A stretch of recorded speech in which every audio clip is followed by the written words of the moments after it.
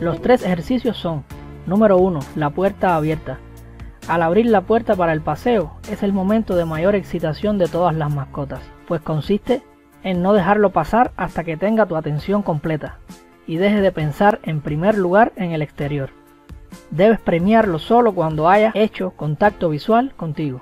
Ejercicio 2. Caminar sin jaloneos. Cuando caminas con él, cambia de dirección repentinamente, solo cuando tu perro deja de centrar la atención hacia ti. Premialo cuando mantenga centrada la atención por más tiempo. Ejercicio 3. Juguete a la orden.